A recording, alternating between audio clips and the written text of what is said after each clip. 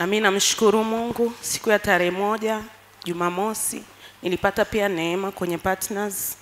Nimesumbuliwa na roho za uzinzi sana sana, nikakaa kwenye hiyo hali muda mrefu muda mrefu, nikaona shindwa kusema, siwezi kusema, siwezi kumwambia mtu yoyote, nyamaza kimya. Nikapata mimba, nikazaa nyumbani. Namshukuru Mungu, siku ya partners Mungu alinionekania akasema ni roho za, za mizimu ndizo zilizosababisha kwetu. Tuko sita, watu wa, watoto wanne wote tumezaa nyumbani. Nilipata mchumba, nikasema kwamba nyumbani nimepata mchumba. Ikafikia wakati wa kumpeleka, ile siku ambayo nampeleka basi ya kupatikana kwenye simu siku tatu nika nikapata shida na wazazi kwa sababu walikuwa wamejiandaa kumpokea mtu. Basi ikawa hivyo, nilivyookoka nikawa katika madhabahu hii mwaka elfu mbili na kumi na nane nikapata tena mchumba mwingine, lakini basi naye akapotelea tu juu juu hivyo hivyo. Mdogo wangu na yeye yeye ni wa kiume, akapata naye mchumba. Tarehe ya kutambulisha ikabakia siku tatu, yule msichana akasema wamepata dharura, wakapanga tarehe nyingine. Ile tarehe nyingine ilipopangwa tena ikabakia siku tatu, Akas, yule tena msichana akasema amepata dharura. Mwisho wa siku akamwambia mdogo wangu sikutaki, hiyo ikaisha.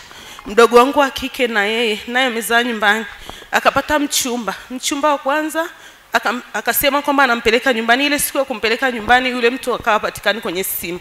Yule mtu akaja kumtafuta baadaye, mdogo wangu akawa amekasirika kwamba amemwadaa, lakini yule mtu akamtumia meseji na yeye anachukia, anamwambia kwa nini umeniambia nije nyumbani kwenu sipajui, alafu umezima simu. Kwa hiyo kukawa kuna tofauti huku na kuna tofauti kule. Akapata pia mchumba wa pili hivyo hivyo na mchumba wa tatu, kwa hiyo wote tukawa tu hivyo hivyo. Umesikia hivi vitu? Ngoja nikuulize jambo moja, si ameokoka?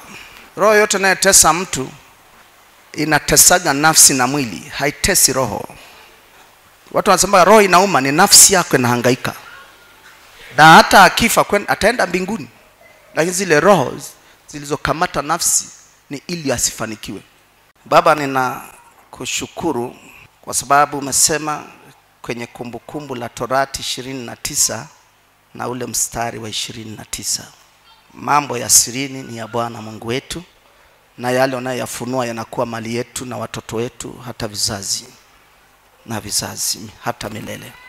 Unaona hii roho iliyokabidhiwa katika ulimwengu wa roho na baba mzazi aliyeabudu miungu na mizimu kwa uzao wake, ilikuwa ni saini. ninakusii Mungu, kwa sababu yeye ni lango, ni mzaliwa wa kwanza, unapomfarakanisha na yule mume wa miungu wa mizimu ya upande wa baba yake, umfarakanishe na wadogo zake wote, na tubu na omba rehema kama kuhani na mtumishi wako sawasawa na kitabu cha Hesabu sura ile ya thelathini na mstari wa kwanza mpaka wa tano.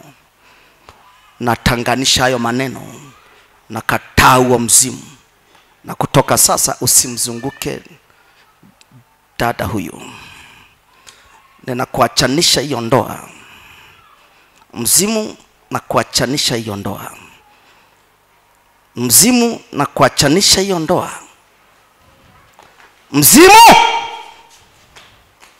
Njoo hapa, njoo hapa, njoo kwa jina la Yesu hapa.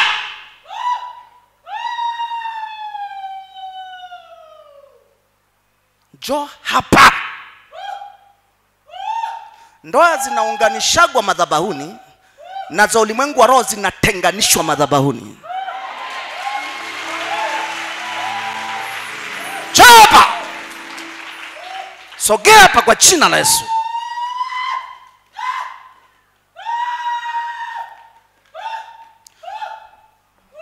Chukua kila cha kwako, mzimu, ondoa kila cha kwako.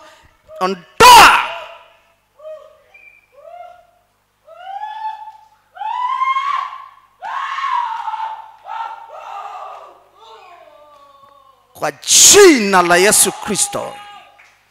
Kwa jina la Yesu Kristo, kwa jina la yesu kristo. Amen